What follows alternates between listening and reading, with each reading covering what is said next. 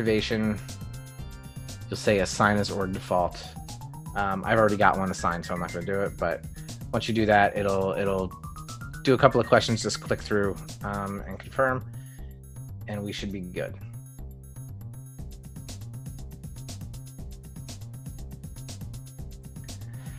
All right, now that we've got knowledge all set up, we're going to have to go and enable communities. So it's the point of this whole thing, right?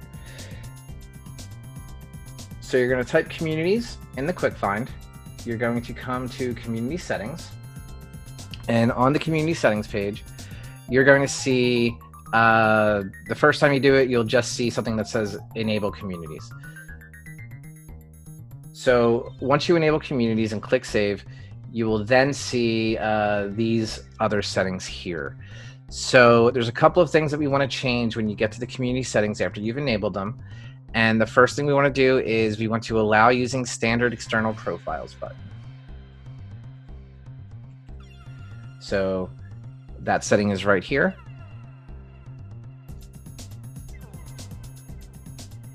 All right, and once you're good there, we can just save. And now you're going to need to set up a my domain. So again, type my domain up in the quick find. Um, you'll see a page here, but you will see uh, a place to type in a domain. Um, since this is a demo, you can put in, you know, anything. There's a little availability check button. Check the availability. Uh, if it's available, then you're good. When you do this in a, a UAT environment or in a production org, um, whatever you pick is going to be the domain for for the for the entire org. So you maybe want to, you know, you probably want to be pretty careful, and you want to make sure that you're pretty specific to your company, but still unique.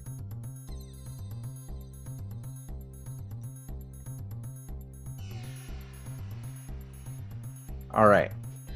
So now that my domain is set up, let's go and do what we're here for. We're going to go back to communities again in the quick find. We're going to click on all communities.